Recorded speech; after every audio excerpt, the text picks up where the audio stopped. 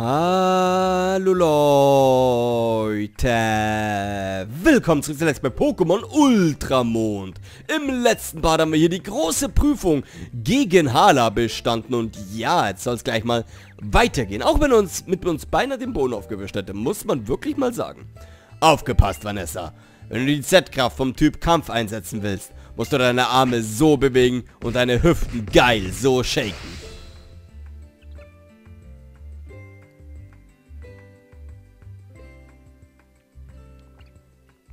Hast du es gesehen, wie ich die Luft geboxt habe? Jetzt denken alle, dass ich ein Vollidiot bin, der irgendwelche Halluzinationen hat.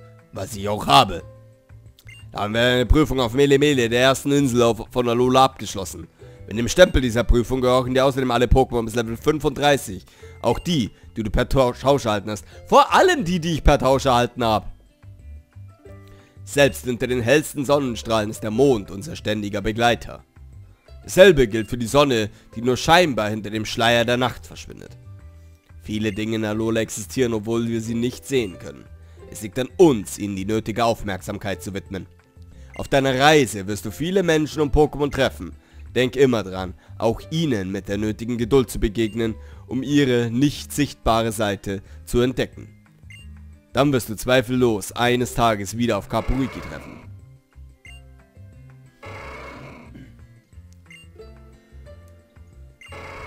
Ein Taurus. Nur die Ruhe, Taurus. Da kommt mir eine Idee. Ich werde dich auf Taurus reiten lassen, wann immer du willst. Warum, fragst du? Na, du magst es doch, wenn, man auf, wenn du auf jemanden reiten kannst. Vor allem, er hat drei Schwänze. naja, weil Taurus auch auf diese Wanderschaft gehen will. Und wegen der Sache mit den Schwänzen. Hier, Vanessa, das schenke ich dir.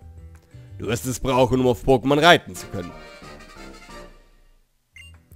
Fünf Packungen Pokegummis erhalten. Schön.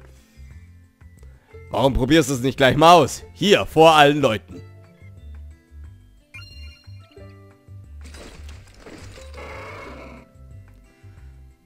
Oh, und sie haben es nicht geändert. Es sieht immer noch so unendlich behindert aus, wenn man auf dem Viech reitet. Also nicht wie, nicht wie es aussieht, sondern einfach das Outfit, das man dann anhat. Ich finde, das sieht so unendlich behindert aus.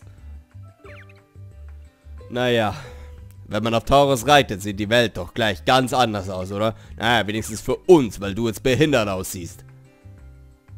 Indem sie uns auf sich reiten lassen, bieten die Pokémon Alolas uns ihre Unterstützung an. So ist das bei uns, Vanessa. Dann will ich dir mein Geschenk mal erklären. Mit dem Pokémobilfunk kannst du Pokémon für Pokémobil herbeirufen. In der Bedienungsanleitung steht, dass du sie gar nicht erst lesen musst. Der Pokémobilfunk stammt übrigens, äh, kommt übrigens samt Reitausrüstung, die du leider anlegen musst. Ich bin sicher, du wirst Taurus lieben lernen, wenn du auf ihn durch Alola reitest. Wenn du Pokémobilfunk benutzt, eilt das entsprechende Pokémon herbei, um dich zu unterstützen, egal wo du gerade bist. Beachte Tali übrigens nicht. Der hat gerade irgendwie ADHS und irgendwelche anderen Schwierigkeiten. Der hat wahrscheinlich seine Medikamente nicht genommen. Deswegen ist es so sapplig. Herzlichen Glückwunsch, Vanessa. Es war mir eine Freude, deine Fortschritte seit unserem ersten Treffen in der Trainerschule mitzuverfolgen. Es war mir schon klar, warum ich den Part beendet habe. Weil das Spiel schlimmer als Final Fantasy ist, was Story betrifft. Beeindruckend, dass du ohne die Z-Kraft gewinnen konntest. Oh, wie wär's, wenn der Malola Fotoclub ein Erinnerungsfoto machen lässt? Mit Taurus ist es nur ein kurzer Sprint bis nach Aoli City. Kommt drauf an, wie viel Geld ich habe. Ich glaube, ich könnte ein paar Klamotten gebrauchen. Ich hoffe, dass deine Inselwanderschaft von Erfolg gekrönt sein wird. Also dann, Vanessa. Du solltest gleich mal ausprobieren, wie stark Taurus ist. Warum versuchst du nicht mit ihm die großen Felsen auf Route 1 zu zertrümmern? Na gut, dann kriegst du auch noch ein Geschenk von mir.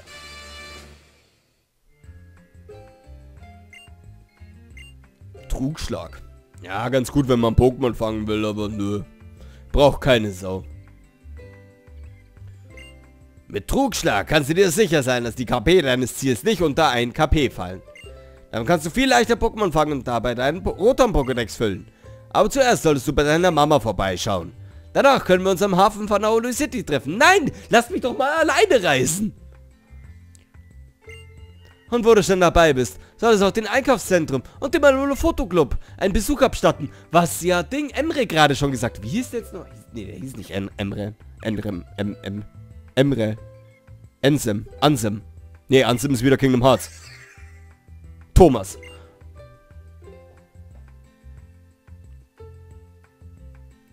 Na, du weißt schon, der Lola Fotoclub, von dem auch Il Ilima heißt er. Ilima eben gesprochen hat. Und eine frisch bestandene Prüfung gebühren zu feiern, solltest du dort unbedingt auf ein Erinnerungsfoto vorbeischauen. Ich muss so reden, weil ich gerade einen Herzinfarkt hatte. Keine schlechte Idee, Tali. Ich habe auch einen Herzinfarkt gehabt. Das ist sicher auch dein Plan. Sobald du die große Prüfung bestanden hast. Oder? Klar.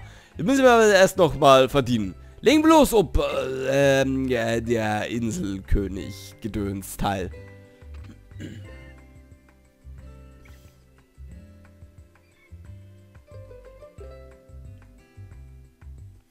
Ihr macht alle rasante Fortschritte als Trainer. Ich bin gespannt, wie weit ihr noch kommt.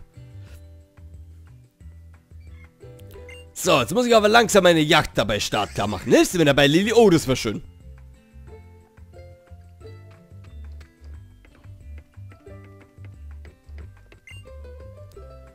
Sehr schön. So, die zwei sollen jetzt anfangen zu battlen. Sehr schön.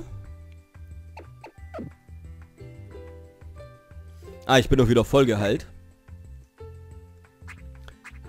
Willst du mal was nachschauen? Diese Statuswerte. Boah.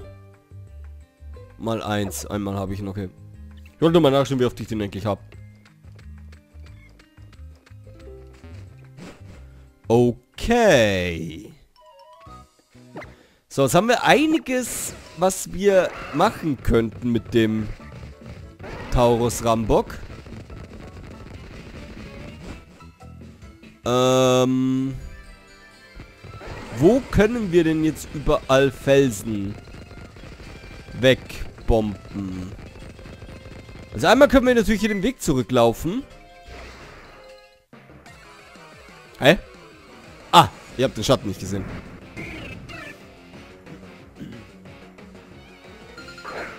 Ein wildes Habitat. Gar kein Problem. Wir fliehen ja sowieso. Oh, Menki hat fast ein Level-Up. Sehr schön. So gefällt mir das. Sollte vielleicht hier unten lang. Weil dann kommen mir da keine wilden Habitat entgegen.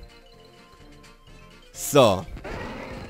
Denn ich habe etwas vor, meine Freunde. Das habe ich schon von Anfang an vorgehabt als ich erfahren habe, dass das geht. Um es mal auszuprobieren. Richtig, ein Traumatofang. Nee, ähm, ich habe vor, ähm, ein bisschen Manntagsreiten zu praktizieren. So, das könnte ich doch eigentlich mit einer Verfolgung sicherlich relativ gut weghauen, oder? Zwei Verfolgungen? Ja, zwei Verfolgungen. Ja, am Pfund macht es nicht so viel. Schön. Einfach nur eine Verfolgung drauf und weg ist das Traumato und ich bekomme ein Level Up.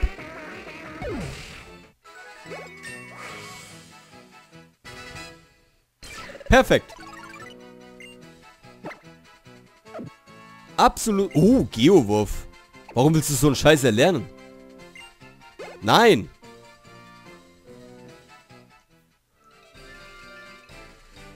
Keine Sau braucht Geowurf. Fixen Schaden. Langweilig. Ah. Da greift mir noch der Busch an. Ah. Oh, ein Ma Maquita. Okay, das wäre aber auch was. So ein Hariyama. Wobei ich sagen muss, dass Menki bzw. Rasaf cooler ist. So, der, nachdem wir vom Busch entkommen, entkommen sind, besser gesagt von Craigs Mom, Nachdem wir jetzt von Craigs Mom entkommen sind, ähm... War es Craigs Mom, die den Megabusch hatte? Ich glaube, es war Craigs Mom. Ich weiß es jetzt gerade gar nicht mehr. Ist ja egal. Wir sind jetzt hier auf der Big Wave Beach. So. Hi. Ich will surfen. Ich habe Mantax auf meiner Inselwanderschaft kennengelernt. Das interessiert mich nicht. Äh, ja? Achso, muss ich mich da anmelden hier vielleicht. Hallo? Sag ich an deine Pokémon? Nein, das sind die GP.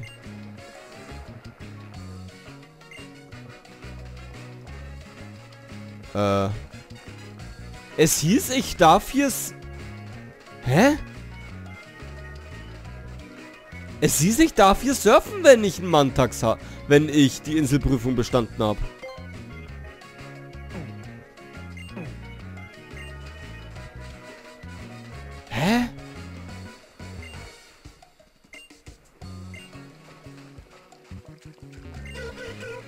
Äh. Ach, muss ich vielleicht so dazu... Nö.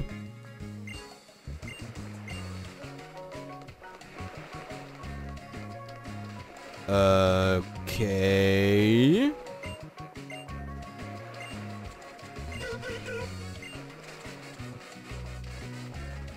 Okay, ich darf nicht, okay. Es wurde mir zwar gesagt, ich darf hier... Ich soll ruhig wieder kommen, wenn ich, ähm... Äh, den Inselkönig besiegt habe, was ich jetzt getan habe. Aber ich darf immer noch nicht. Okay, gut. Okay, kann sich am Antrag surfen versuchen. Was? Hm. Keine Ahnung. Vielleicht braucht man noch sein eigenes Mantax. Ja, ich will mal... So. Sehr gut. Äh, halt, halt, halt. Roms, geil.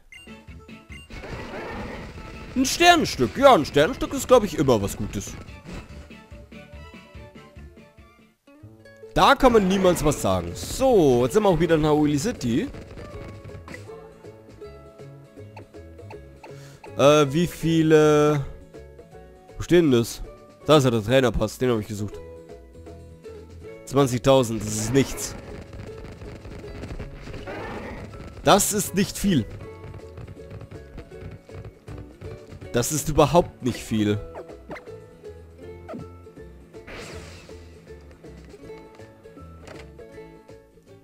Das ist überhaupt nicht viel, aber vielleicht haben die auch nichts mehr, was mich irgendwie interessieren könnte. Schauen wir mal.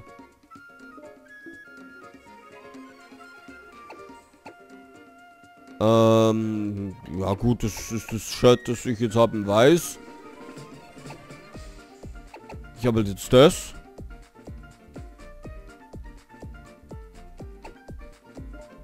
Ja, das ist aber auch schön, das Lila.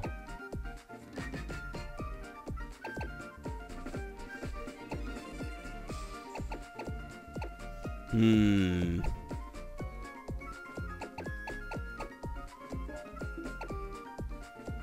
Ich finde aber das Hemd, ehrlich gesagt, hier das Shirt ziemlich cool.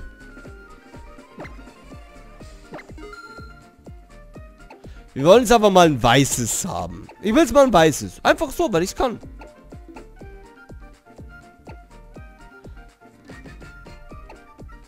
Oder ein Tanktop.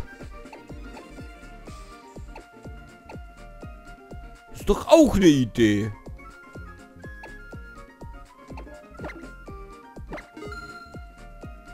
Das gefällt mir. So. Shorts. Ja, ist okay.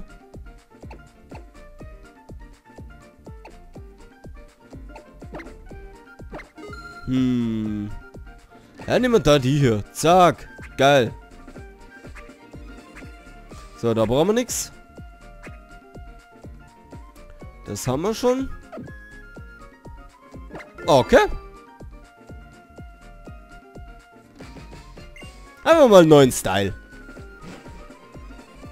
Sehr schön. Gefällt mir. Das mag ich an. Das mochte ich, das mag ich sehr am Pokémon X und Y. Äh, und auch hier an äh, Mond und Sonne.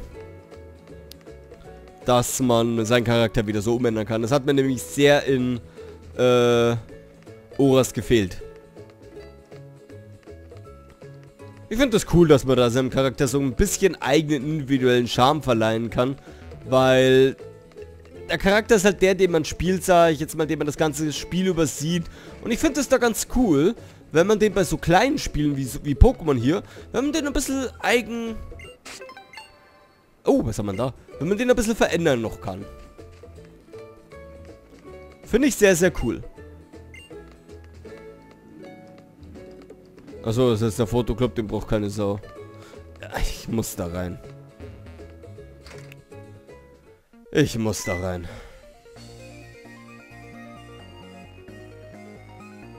Oh, ein Trainer mit einem Z-Kraftring. Sag bloß, du willst ein Foto machen. Im Meluno Fotoclub kannst du dich mit deinem Lieblings-Pokémon in verschiedenen Posen abdichten lassen. Wenn du schon mal hier bist, solltest du das unbedingt mal ausprobieren, Mann. Ich suche gerade den Abbrechknopf. Jetzt hast du die Gelegenheit, dein komplettes Leben aufs Spiel zu setzen. Was, warum muss ich so einen Scheiß machen?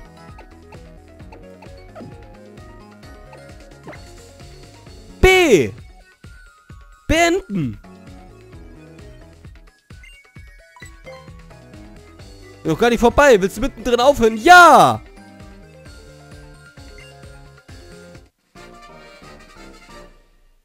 So. Ja, Bilderalbum. Ganz toll. Alter, wie ich es hasse, wenn... Alter. Wie ich es hasse, wenn einem sowas aufgezwungen wird.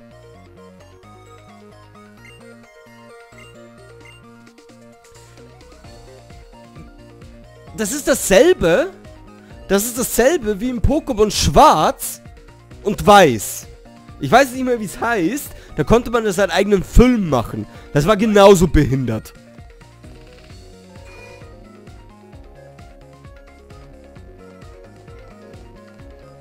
Und darauf war man auch angewiesen. Das musste man machen.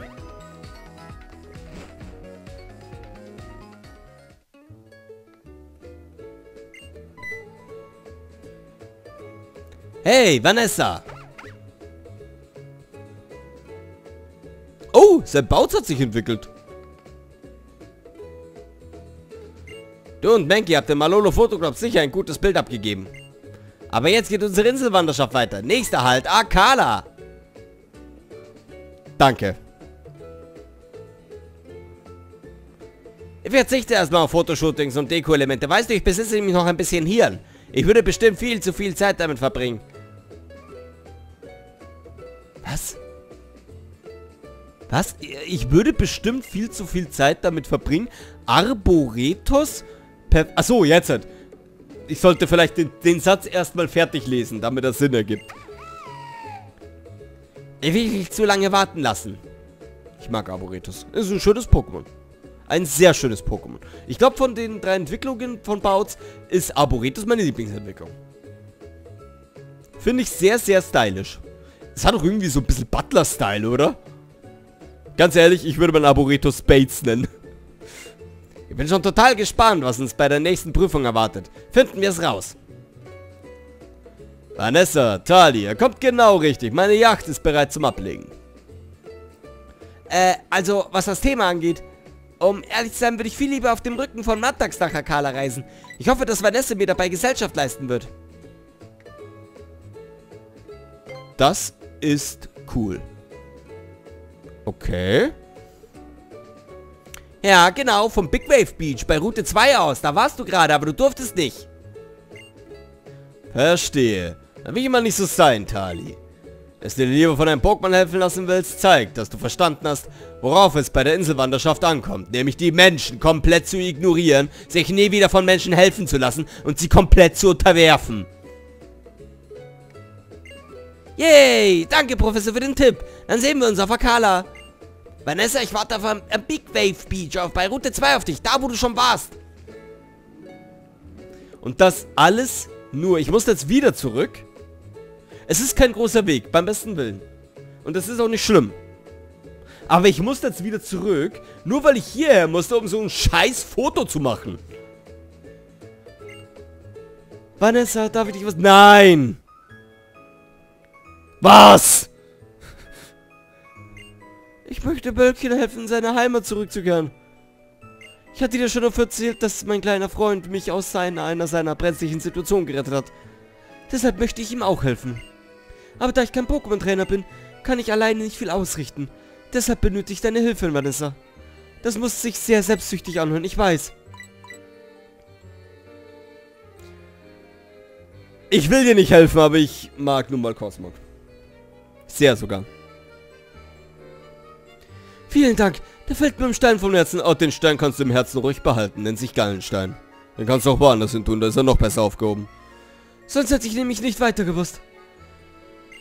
Dann würde ich sagen, wir treffen uns auf Akala, der nächsten Insel wieder. Sehr gut. Aber immerhin dürfen wir jetzt doch Mantak surfen. Das ist cool. Da freue ich mich jetzt nämlich schon ein bisschen drauf, muss ich sagen. Das wird cool. Bin mir ziemlich sicher, das wird mega cool einfach nur noch.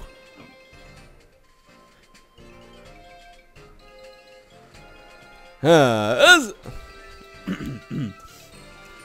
ist ja eine Insel, ein Inselwanderschaftsabzeichen. Und dazu besitzt du auch noch die Z-Kristalle, Normium Z und Batanium Z.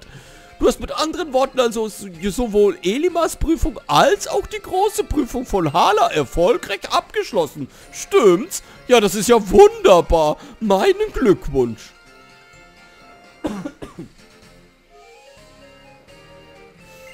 Wenn ich mich vorstellen dürfte, mein Name ist Heinrich Eich. Ich bin Pokémon-Forscher und untersuche unter anderem die Herrscher-Pokémon in Alola. Fragst du dich nicht auch, warum Herrscher-Pokémon im Vergleich zu ihren herkömmlichen Ortgenossen so auffallend groß sind und was es mit dieser besonderen Aura auf sich hat, die sie umgibt? Anabolika, sonst nichts, pures Anabolika. Nö. Äh, ist das dein Ernst? Wenn du dir das anhörst, was ich zu sagen habe, wirst du deine Meinung bestimmt ändern.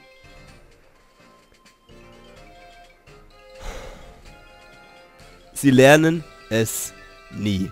Man sagt, man will nichts hören und man, es wird trotzdem alles erklärt. Sie lernen es nie.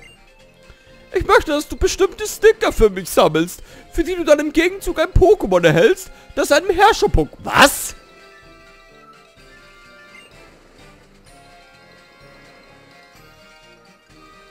Okay. Deshalb werden diese Sticker auch Herrscher-Sticker genannt. Du kannst sie hier und da und dort und irgendwo in Alola finden. Zieh sie einfach ab und sammle sie. Zeigst du mir 20 Herrscher-Sticker, erhältst du von mir ein Radikal. Ich zähle auf dich. Immerhin bist du der Trainer, dem Professor Kukui eigentlich sein Rotom anvertraut hat. Ja, das bin ich. Ich mache mich dann wieder auf dem Weg zum Kantai-Strand auf Akala. Äh, schwing dich einfach auf Mantax und komm rüber gesurft, wenn du meine Hilfe brauchst. 20 Herrscher-Sticker. Und wie viele habe ich jetzt? Ich weiß ja nicht, was ich davon halten soll, dass man dann so ein Herrscher-Pokémon bekommt. Weiß es nicht, ob ich das jetzt als cool oder als Wayne bezeichnen. Oder was ich davon jetzt halten soll. Oh, da liegt was. Ob das jetzt cool oder Wayne ist. Ich glaube, das, das müsste ich wirklich einfach ausprobieren. Aber wir sammeln sowieso die ganzen Sticker, wenn wir sie finden. Und ähm, das bedeutet, dass wir sowieso ein Herrscher-Pokémon früher oder später bekommen werden. Und das können wir uns ja dann mal anschauen, gegebenenfalls äh, vergleichen mit einem ähm, anderen Pokémon der Art. Ob das wirklich so viel stärker ist. Das würde mich nämlich echt mal interessieren. Ob ich dann an sich auch ein stärkeres Pokémon habe. Oh Gott, das würde dann das, das würde dann das Competitive wieder so zerficken. Oh, das wäre schlimm. Aber ich bin mal gespannt, wie es da jetzt noch weitergeht mit den Herrscherstickern. Das finde ich nämlich doch relativ cool, ähm, dass man da dann auch wenigstens eine, eine Belohnung bekommt im Sinne von einem Pokémon. Mal schauen, wie das dann wirklich ablaufen wird. Also gut, Leute, das war dann Let's Play Pokémon Ultramond für heute. Ich danke euch fürs Zusehen und bis zum nächsten Mal. Ciao.